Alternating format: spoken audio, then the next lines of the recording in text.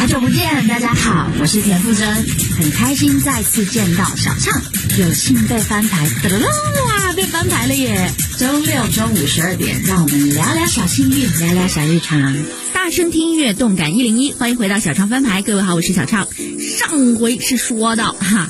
呃，田馥甄这张专辑当中有几支 MV 的拍摄令粉丝们大呼不过瘾，因为有太多的镜头是给到了风光和景致，还有其他的一些路人。田馥甄本人的颜并没有出现的很多，其中有特别聊到《人间烟火》这首歌。但是值得一提的是啊，为了整张专辑的色调、拍摄风格整体统一，整个团队是拉到了斯洛伐克这个中欧内陆小国进行拍摄。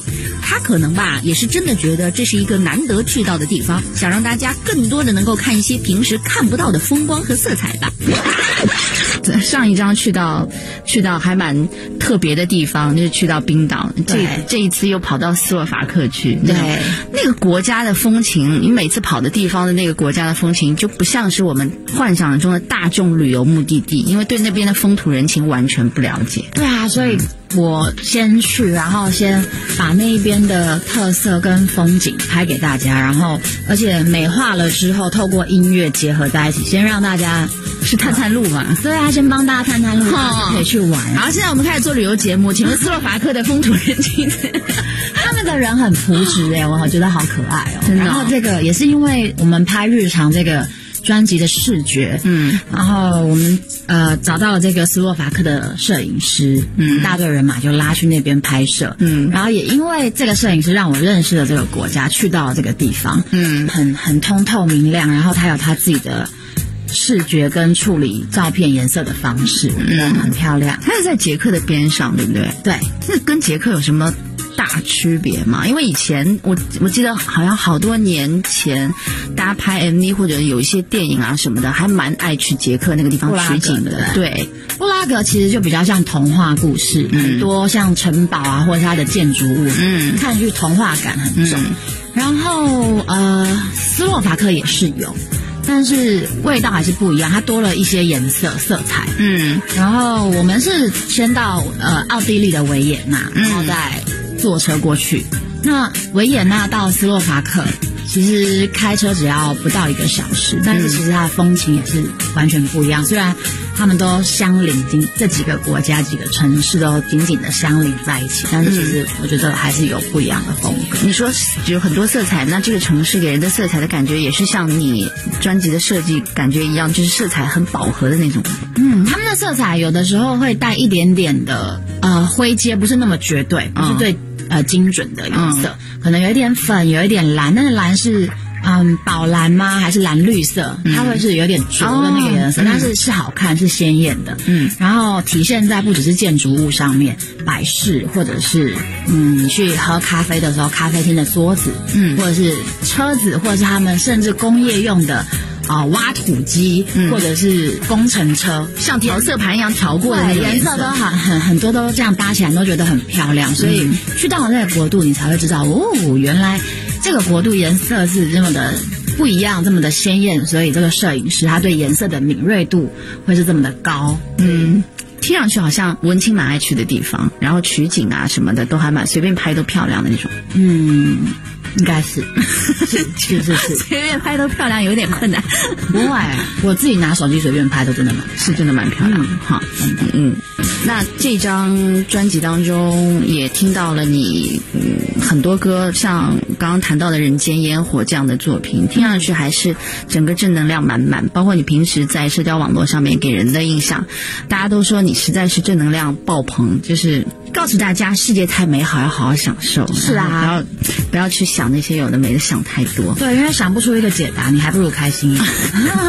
当然，我也我也是承认，人本来就会有负面的情绪。嗯，所以当然我是一个公众人，我不可能把负面情绪散播出去，散播出去。但是我承认，人本来就会有高低起伏，各种情绪。是的，所以才会在专辑里面有《无用》这一首歌。嗯嗯，所以你呃平时我们说平时哈，是因为像我前两天刚采访贵公司的歌手林宥嘉，然后我就说你的作品太多负。面的东西了，情绪起伏太大，然后 你说你就是你就是自己过不好，也要让别人过不好，对不对？然 后大家开玩笑啦，就是每个人作品给人的那个印象是不一样的，有些喜欢把自己的世。界里面的那些敏感和纠结，跟大家一起分享，然后跟大家一起探讨，然后。嗯，期待有共鸣的人共同思考。有些就是希望给大家更多的正能量，因为日子还要过，世界还要前进，对不对？就太阳照常升起。对，就每个人给人作品印象不一样，但是我相信，就像你刚刚说的，其实每个人多多少少私底下都会有一些自己负面的东西需要收拾、需要处理。是。那你在平时的那些负面的东西，你都是怎么去处理？或者我们平时是看不到，因为就像你说的，公众人物没有义务，也其实不。必要把那些东西散播在人间，但对于你自己来说，你是把这些东西藏在哪里了吗？还是你怎么去处理和消化掉这些负面的东西？呃，首先是可能可以跟姐妹聊，嗯，听他们的意见跟想法，嗯，或者是自己回家。先把那个情绪先发泄掉，可能哭一哭，或者是听音乐，但那个是情绪面的东西。但今天为什么我会对这件事情会有负面的观感或什么？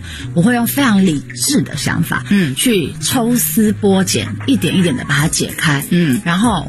我这个解开的能力非常的强，因为我觉得应该算是我的思考还算蛮正面的，嗯，所以我会觉得哦，因为这样子他并不是针对我，是因为他的立场、他的思考做这件事情，他有他的原因，所以我想今天我受到这个委屈跟伤害，他并不是针对我，只是针对他这个事件，他处理方式，他仅有的能量，嗯，做到这边了，嗯，所以于是怎么样？那如果下一次我要避免这个事情的话，我应该怎么怎么做？我这样想想想完之后，哎，我就。梳理完毕，然后我就可以愉快开心的。好理性哦，对。但前面我可能也会觉得那一秒被刺伤的时候，被刺伤或者是觉得委屈的时候，嗯，可以先哭一两下，嗯，对啊，在家里可能可以宣泄自己，但是宣泄完之后，不能人生只有宣泄跟情绪化。我觉得情绪化结束之后，再来就是要用理智去想，那下一次我要怎么解决这个问题？如果或者是下一次我无法控制这个事情再碰上我的时候。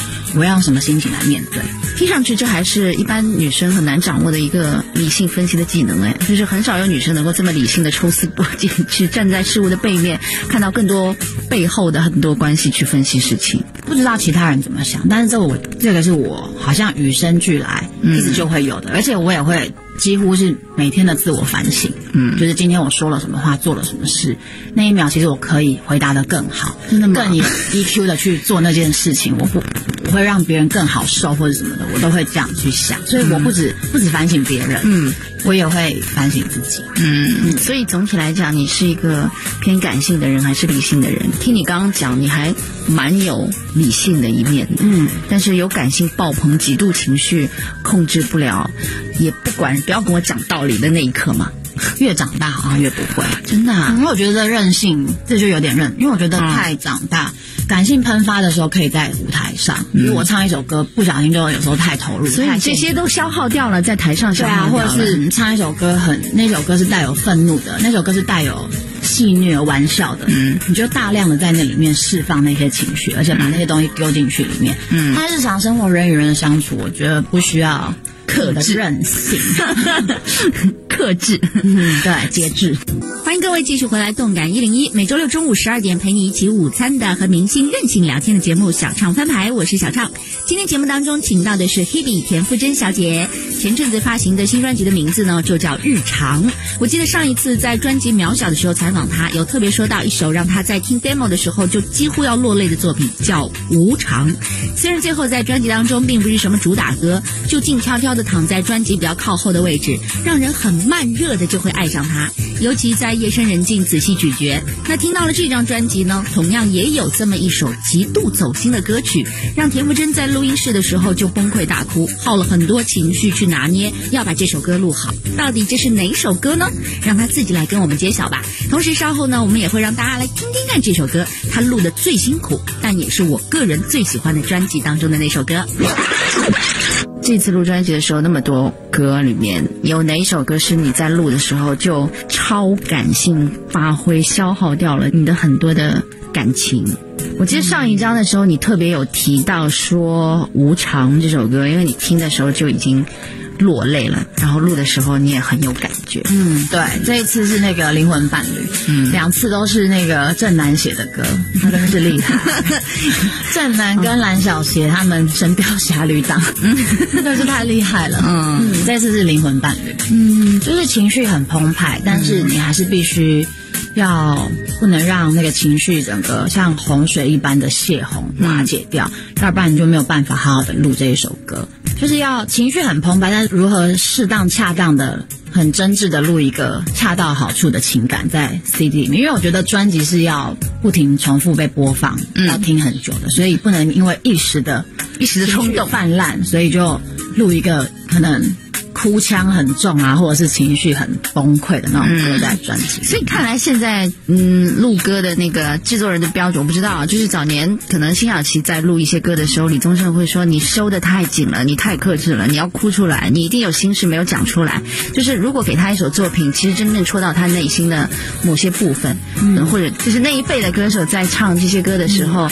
可能在演绎的时候太跳脱出来了。其实你这首歌是挖到了我内心的某些部分，但是我千万不能让我的这一面告诉你。所以他录的时候就很克制，然后唱的时候也很小心。最后被制作人说你根本就没有唱出这首歌的点。你如果有情绪，你真的觉得这首歌能够让你落泪或者哭，你就哭出来。然后真的是在录的时候，就真的是像你说的泄洪一样的哭出来，然后那个情情绪到那个点录出来，就是那个制作人要的感觉。嗯，所以正好跟你刚刚讲那种情况相反。我觉得那是每一个人对情感跟歌曲诠释的方式的理念不一样。嗯，但是我并没有，我其实我在在录音室有哭啊，我就是唱到哭出来了。嗯，所以先停止录音。我先哭完了之后，我再录，因为你总不可能，因为我觉得哭可能影响到音的那个抖了，对吧？影响到那个，就是已经音准都已经不准，我已经锁喉了嘛。所以这东西就是，我觉得要去拿捏如何真的情感真挚的表现，但是技术层面上，嗯，还是要唱一首歌嘛，还是要唱一首完整的，然后歌词也唱不出来，因为我觉得你情绪泄洪就是情绪崩溃啊，但是你情绪满到你把这个情绪放在歌里面，好好的唱完它，那就是你厉害的地方。哎。那你你你只是在那边一直大哭，然后就录了一堆哭声，这很荒唐吗？如果真的是这样的话，在演唱会上面表现这些，是不是更加戏剧性？大家比较爱看这些。如果因为你你知道，演唱会并不是我们要去现场听你跟那个专辑录的。效果一模一样，完全没有瑕疵。我们看演唱会会非常期待歌手在现场表现出崩溃，或者是走音，或者是就是你知道，就是各种状况那些那些很戏剧性的一面。嗯嗯。但我觉得我不会为了要戏剧性而没事在演唱会故意哭或者故意啊忘词或故意什么。但是我觉得现场演唱，因为每一个乐器响在你耳边，还有前面。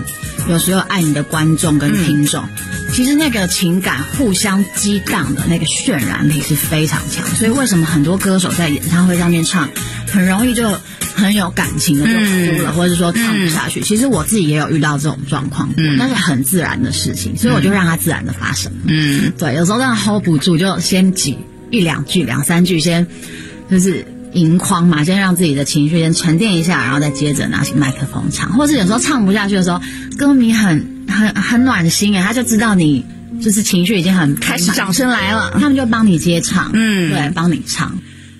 那最后的时间，我们可不可以了解一下姐妹们的近况？姐妹们的近况，像 ella 最近，如果大家打开电视，应该可以看到，她录了非常非常非常多的。呃，综艺节目跟实境秀，嗯，啊，我要上学去吗？还有 那个来吧冠军，你也不用奋力的替全员加速嘛，还有什么？反正就非常多的节目。哎，你还是非常用功和贴心的姐妹啊，就是把把她的一些上的节目的通告啊名字记得嘛，然 后你不用那么费心的去帮她做广告，只是想问一下，就是姐妹的呃生活状态啊，还有状况啊，都还蛮好的吧？好。嗯，好，就是还是被你们在亏，ella 还是很黏老公吧，因为以前这个话题是落在 Selina 身上，然后最近有转移到她身上，就经常是哎，老公呢？哎，在哪里？就是你专辑不是有一首歌要送给他的吗？那个只是记者会开开玩笑，开个玩笑而已，对啊。但是我觉得，就是一个人结婚，嗯，本来就是跟。另外一半，他是你人生的另外一半，嗯，相依相偎，一起生活，嗯，他不跟他黏在一起，不跟他生活，他跟谁生活？所以这是再正常不过的，只是拿来揶揄跟开玩笑，还有觉得如果说叫我送一首专辑的歌给他，然后我送身体都知道，祝他身体健康，这会有点吗？这好笑吗？真的很无聊啊！所以只是为了逗大家开心而，嗯，就是我们自我自己人自我调侃而已。但是其实对他，我是充满了祝福，跟觉得呃，觉得他现在的状态是非常非常棒的，嗯，找到了自己心爱的人，然后那个人也这么的爱他。是多么幸福的一件事，本来就应该要黏在一起啊。嗯，那身体都知道这首歌送给 Selina。嗯，身体都知道，因为他现在就是瘦了嘛，嗯，然后又热爱运动，嗯，很好啊。所以他的身体都知道，然后我们的眼睛也都知道了，都看到了。对，他更结实，然后更正向。然后更有能量，嗯，我觉得他非常不容易，因为他的就是如果我们普通人去健身去运动，可能面对的困难和挑战都是想象不到的，就是没有他那么厉害，而且他坚持在马拉松这项运动上面好苦，因为我自己跑步我就觉得好枯燥，嗯哼，对，因为会有一些撞墙期啊，身体上的限制，是的，更何况他，所以我都觉得他是我的虚荣，嗯哼，真的是太厉害了，嗯，前面听你说，反正你娱乐圈的朋友就他们。两个，而且因为你们出道到现在，从少女时期到现在为止的友谊，大家都看得见，无论是工作上面还是生活上面，所以希望，嗯，无论你们各自都接下来会有什么其他的发展，三个人都能够一起加油，好好的，好，好不 好？我们会加油，我们一直都在加油，一直都好好。好，谢谢黑比，谢谢，拜拜，拜拜。